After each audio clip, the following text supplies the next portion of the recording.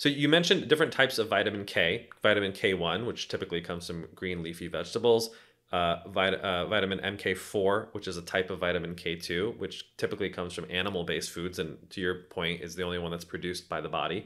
And then there's MK7, which typically comes from fermented foods uh, like uh, the Japanese natto that some people may be familiar with.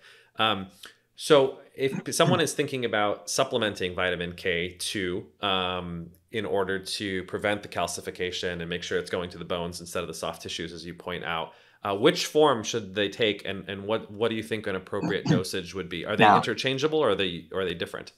Good. I will catch on the last phrase. Thank you for asking me that, Dr. Sepah. They are interchangeable. And, and, and if you were to ask me even a month ago, I would I would only stick to I only bear out what I know. And then less than a month ago, it seemed like vitamin K1, the phylloquinone, converts to vitamin K2 and is specifically the MK4. Others are unknown. Surprisingly, in Journal of Nutrition is EPUB. You can Google it. They tried it in animal. They gave a group of animal control, so there's a control group, and then they give, which means that there's standard amount of vitamin K1 uh, and K2. Remember, the body makes it, so they have a baseline level.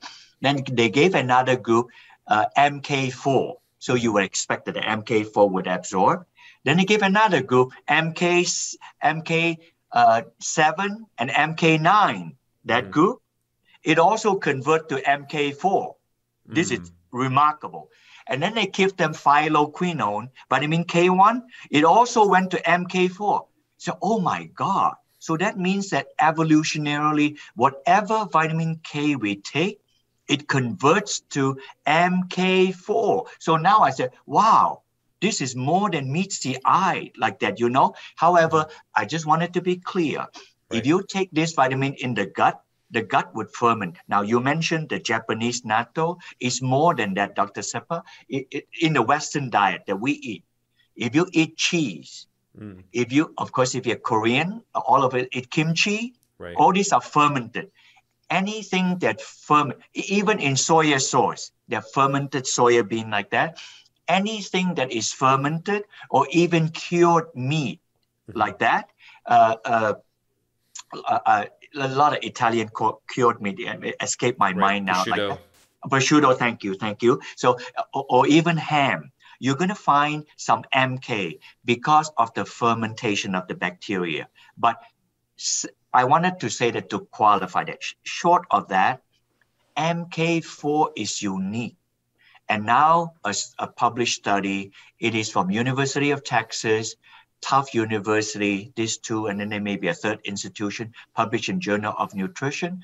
Whatever the vitamin K that is a feed material, it converts to MK4. So to answer your question, perhaps then a blend of vitamin K and mm-hmm. including GG make good sense for the proper balance of vitamin K in the body that is uh, for the clotting factor for the removal of arterial calcification, for the strengthening of the bone, for all these uh, things, and for the synthesis of MK4 in our body, and mm-hmm. for synthesis of CoQ10. So this is a new age that until now we didn't know. So I think of this vitamin K now have a new lease of life in the in the path of anti-aging. Yeah, fantastic. And you know, I, I, was actually reading some of the Japanese researchers' studies. Um, now, these are um, in vitro studies in cells and and also rat studies in which they were testing um, different forms of vitamin K two, um, and they found that the MK four form that you mentioned um, tends to have a really interesting effect. Uh, yeah. Which is stimulating testosterone. In fact, they were doubled in these in the rat studies. They were doubling uh, their testosterone production without increasing LH uh, which is interesting because you know companies like ours, Maximus, we use SERMs or selective estrogen receptor modulators like clomiphene that increase testosterone through the stimulation of LH. This actually seems to do it through a completely novel mechanism hmm. um, in promoting steroidogenesis. So actually upstream, it stimulates progesterone production.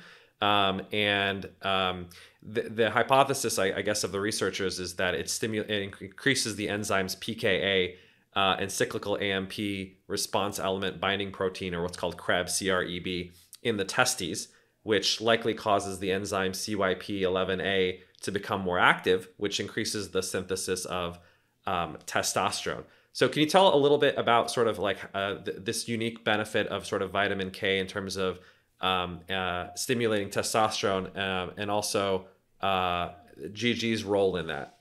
Okay.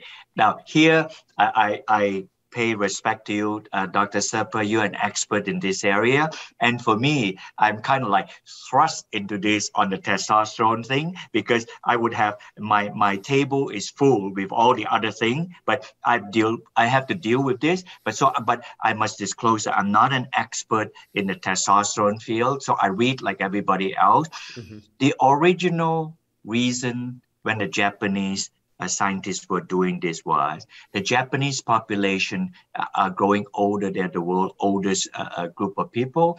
So when you see these older folks, they wanted to improve their thrive like that, and and they know that testosterone would increase their thrive, steady their gait like that. So they mm. did that, and those kind of studies we saw. And then they even gave MK4 uh, uh, like that, and it would also improve. They have studied, they show that they gave MK4 and they will increase the testosterone. Then they decided to use GG. At the time, they did not know other than the GG is part of the tail. They never came to connect that the GG they gave to the animal, the GG converts the MK4 and then do the job. Mm-hmm. Based on other studies, it seemed to be like that. However, when they did give the GG to the animal, the testosterone increased. So, so because of that, we are thrilled. So, right now, I know the study won't be until next year. Because of this, we are conducting a study uh, uh, of men and women, giving them GG, and to test the increase of the testosterone to- free testosterone, total testosterone, and bound testosterone, and a whole host of other things that measure uh, the increase of thrive, including sexual thrive like that. Mm-hmm. So that we don't have that answer now. We base it on animal study. So what you're saying for me is this: when we see this, we will just decide it, we just decide to do the study based mm-hmm. on what we find like that. So I don't know where that study is going to go. I, I am uh, excited as I'm a little nervous.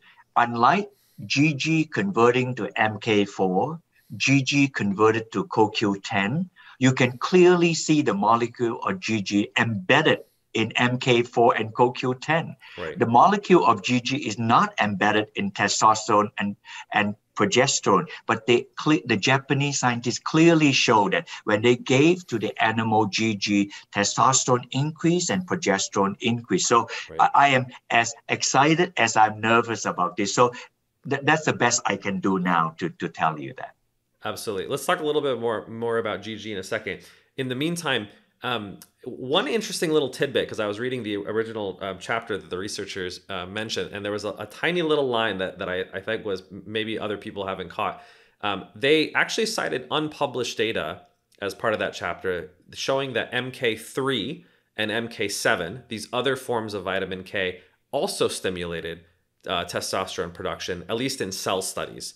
Um, now, unfortunately, they didn't show say how much. Um, I've reached out to the researchers. I'd love to look at the data uh, that they, they haven't published yet. So, do you think that vitamin MK7 could potentially work as well as MK4 in stimulating testosterone, hypothetically?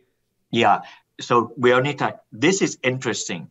The study that will be that just came out in EPUB said that whether they give them MK4 phylloquinone, MK9, or, or any other vitamin K, they all converts to MK4.